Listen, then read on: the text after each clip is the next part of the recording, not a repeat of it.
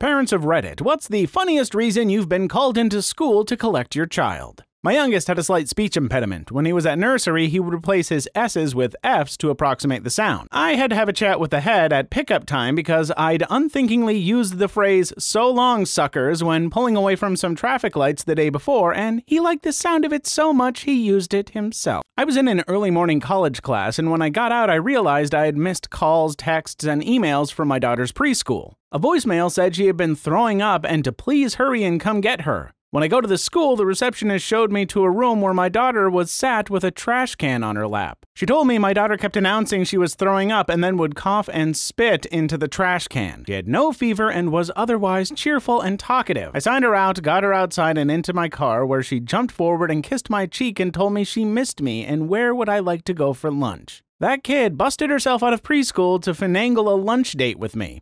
It worked.